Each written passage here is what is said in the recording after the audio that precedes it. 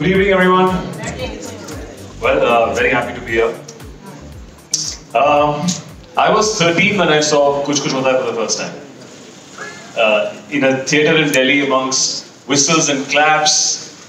And then I saw Shah Rukh Khan, his uber cool sporty look, you know, the oversized jumpers, the skin fitted t shirts, uh, and, that, and that cool chain that we all thought that